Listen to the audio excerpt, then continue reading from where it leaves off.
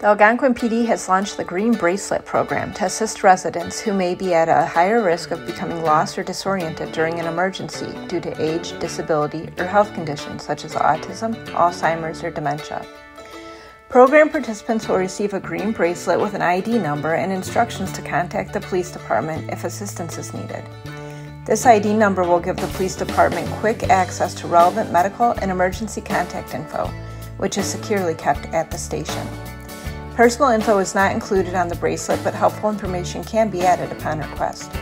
The program is available for free to Algonquin residents.